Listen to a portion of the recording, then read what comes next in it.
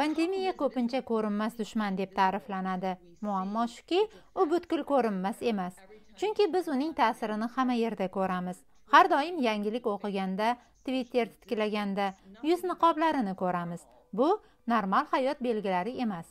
Koronavirus dunyoga hukmron bo'ldi va xavf faqat virusning o'zida emas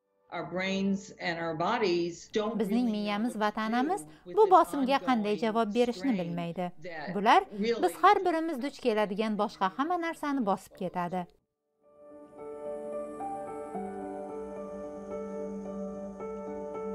In part we're processing things very well and we're adapting biz hammasini yaxshi hazm qilamiz va moslashamiz.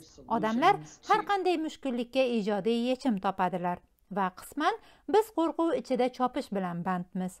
Biz tubi ko'rinmas jarlikka qarayotgandekmiz.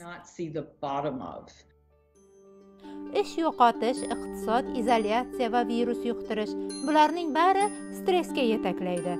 Oqibatda inson qon bosimi oshib ketishi mumkin. hatto chalg'ib boshqa nimadir bilan band bo'lganingizda ham buni ongli hazm qilish qiyin.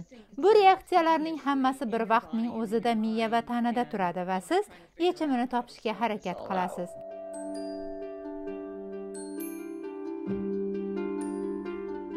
we need people. We need human contact biz odamlarga insoniy kontaktga muhtojmiz. Agar bizning dunyomizda ular bo'lmasa qator ruhiy siqilishlar yanada kuchayadi.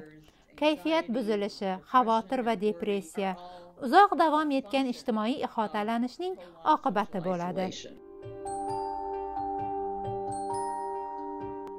The pandemic of 1918 1918 yilgi pandemiya tugagandan keyin odamlar yana quchoqlasha va qo'l berib ko'risha boshlaganlar ya'ni tahdid arishi bilan xavotir ham esdan chiqib ketadi.